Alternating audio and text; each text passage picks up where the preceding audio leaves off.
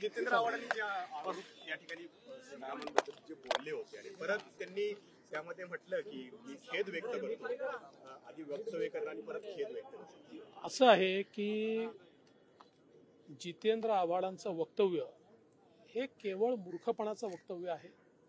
आणि प्रसिद्धी मिळवण्याकरता बदनाम होय तो क्या हुए नाम तो हुआ असं एक हिंदीतलं वाक्य आहे. अशा प्रकारे ते करत असतात.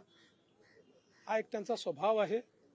खरं म्हणजे प्रभू श्रीराम हे सगळ्यांचेच आहे. बहुजनांचे आहे अभिजनांचे आहे दलितांचे आहे आदिवासींचे आहे. असं कोण आहे बरं या देशामध्ये की ज्यांचे ते नाही आहे आणि उगाच मग ते शाकाहारीन मांसाहारीन विनाकारण लोकांच्या भावनांना ठेस पोचवण्याचं काम आहे हे. माझा सवाल आहे की आज आमचे वारकरी आमचे धारकरी आमचे माळकरी आमचे टाळकरी हे सगळे बहुजन समाजातले. हे सगळे प्रभू श्रीरामांना मानतात आणि यातले सगळे लोक हे शाकाहारी आहेत. मग याचा यांचा अपमान नाही आहे का? त्यामुळे अशा प्रकारे विनाकारण विवाद उभा करणं लोकांच्या भावना दुखावणं आणि अशांतता तयार होईल असं वागणं हे अत्यंत चुकीचं आहे.